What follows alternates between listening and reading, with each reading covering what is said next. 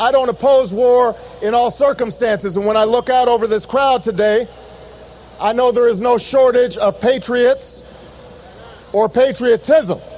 What I do oppose is a dumb war. A rash war.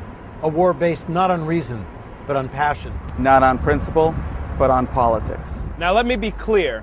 I suffer no illusions about Saddam Hussein. He is a brutal man. A ruthless man. A man who butchers his own people to secure his own power. But I also know that Saddam poses no imminent or direct threat to the United States. And in concert with the international community, he can be contained. Until, in the way of all petty dictators, he falls away into the dustbin of history.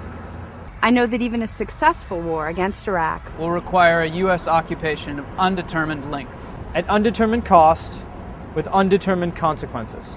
I know that an invasion of Iraq without a clear rationale and without strong international support will only fan the flames of the Middle East. And to encourage the worst rather than the best impulses of the Arab world and strengthen the recruitment arm of Al Qaeda. I'm not opposed to all wars. I'm opposed to dumb wars. You want to fight President Bush? Then let's finish the fight with bin Laden and Al Qaeda. You want to fight President Bush? Let's fight to wean ourselves off Middle East oil through an energy policy that doesn't simply serve the interests of Exxon and Mobil. Those are the battles that we need to fight. Those are the battles we willingly join.